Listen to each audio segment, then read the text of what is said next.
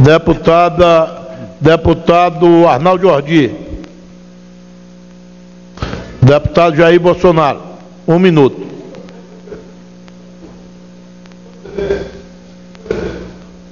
A Dilma Rousseff condenou há poucos dias as explosões na maratona de Boston como um ato insano de violência. Eu perguntaria, não foi desta forma que Dilma Rousseff começou a sua carreira na política?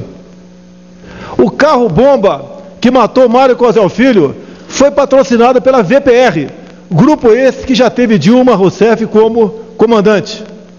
Além de Mário Cosel, mais três elementos foram mortos por outros grupos, como a VAR Palmares e a Colina, que Dilma Rousseff também participou.